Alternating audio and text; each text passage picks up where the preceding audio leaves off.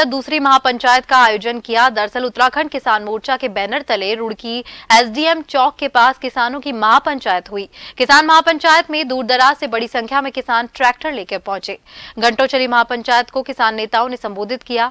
किसान मोर्चा के राष्ट्रीय अध्यक्ष गुलशन रोड ने बताया कि आपदा में खराब हुई फ़सलों का उचित मुआवजा, उत्तर प्रदेश की तर्ज पर सिंचाई के लिए किसानों को एक साल के लिए बिजली मुफ़्त की जाए, आदि कई मांगों की गई, जहाँ पर उन्होंने बताया कि अगर सरकार ने इन मांगों पर काम नहीं किया तो किसान सरकार को जगाने का काम करती रहेगी।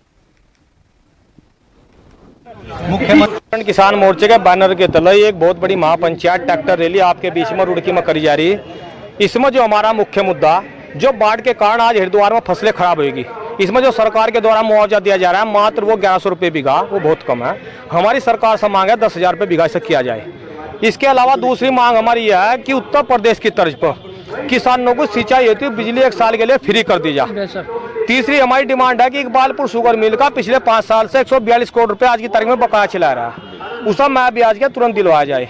चौथी हमारी डिमांड है कि आगामी सीज़न का गन्ने का भाव जो है गन्ने का जो रेट है वो छह सौ रुपये कुंटल तय किया जाए। इन्हीं बातों को लेकर आज सरकार के खिलाफ यहाँ पर किसानों का एक हजूम रुड़ की शहर में पहुँचा गया।